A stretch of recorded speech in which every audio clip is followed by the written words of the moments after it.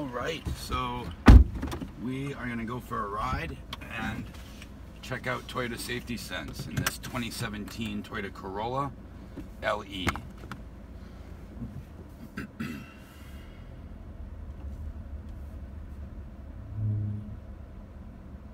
Just gonna focus on two things during this drive, which is the lane departure and the dynamic radar cruise control which are part of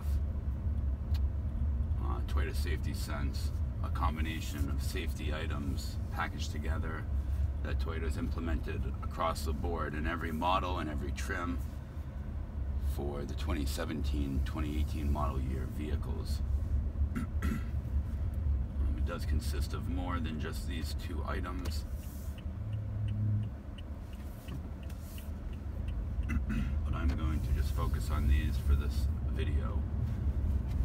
Um, so, how it works, I think technology is sometimes hard to word to people, as well as even read it to consume it and understand it. I think it needs to be experienced, which is why I'm doing this.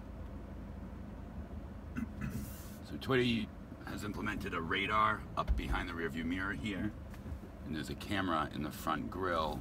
They work together to um, kind of, they're just always scanning the road in front of you, acknowledging the lines in the road and obviously other vehicles or objects like a toll booth or a structure.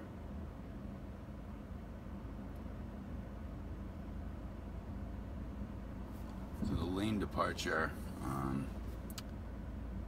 will not really allow the vehicle to hit guardrails and so forth. It'll actually steer the car back. All those moments where we're maybe distracted, excuse me, or we don't think we are, but just the moment where you glance down at the radio, change a station, or grab your cell phone if it falls, we can't get them back, and that's where I think some of this stuff becomes very relevant. So we're gonna get on 95 north here. So we can get up to a cruising speed. Turn the lane departure on. I'm gonna turn my cruise control on, which is set.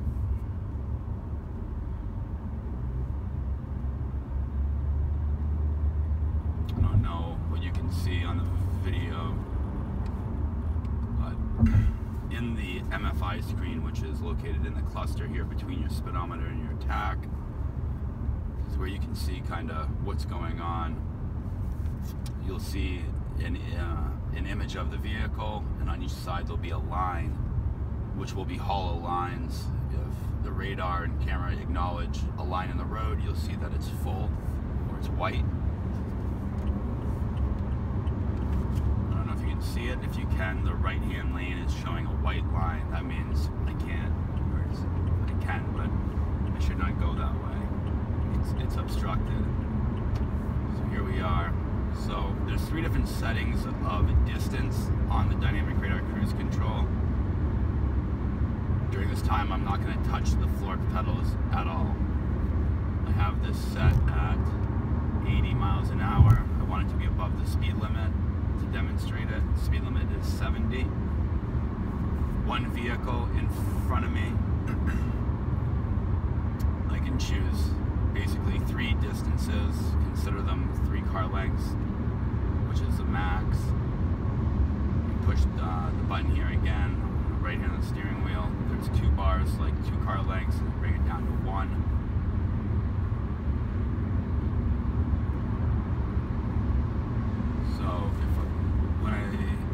Vehicle goes over one of these lines, whether it's perforated or solid, you'll hear a chime in the cabin to alert the driver. And if I don't touch the wheel for a little while, or for a few moments rather, the vehicle actually steer itself back to where it was. You can experience that real quick. No hands. Do it again. Still haven't touched the steering wheel pretty amazing stuff. Again, 2017 Corolla LE. Now it's telling me to grab the wheel. So that's the lane departure. What the vehicle will do over the course of six miles, let's say somebody had a heart attack behind the wheel of a Toyota that has this safety feature implemented into it. For about six miles, the vehicle will kind of bounce back and forth lane to lane, at which point, after six miles or at, the vehicle will come to a stop slowly. Won't pull over and turn on your four ways or your hazards, but other drivers will know that there's something wrong um, and hopefully call for help. So the dynamic radar cruise control is something that is pretty amazing. Most cruise controls we uh, when we're in cruise control, we need to be fully aware of what's going on. Because if the vehicle in front of us slows down, we need to brake. No longer is that the case. Dynamic radar cruise control, it's like two magnets on reverse sides to me.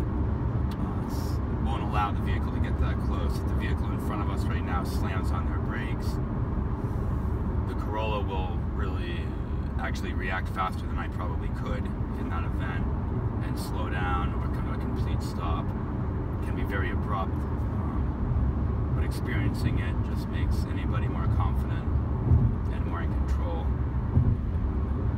So, I can't feel my feet, but I'm not lying to you. I'm not going to touch the, the pedals here.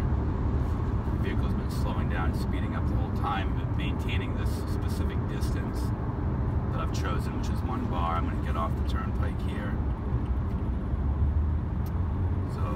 Set at 80, I'm going to slow it down because obviously I'm getting off the pike here. So if I go into this too fast, which which I am, which I shouldn't be, this vehicle will come to a complete stop.